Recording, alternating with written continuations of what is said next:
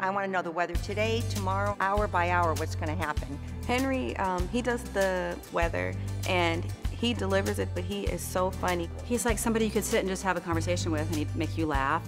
They always let us know when the weather's going to happen, when it's going to rain, when it's not. And they do it with a joke and a smile. I love He's always very accurate, very, very accurate. I could really count on him. And I do count on him.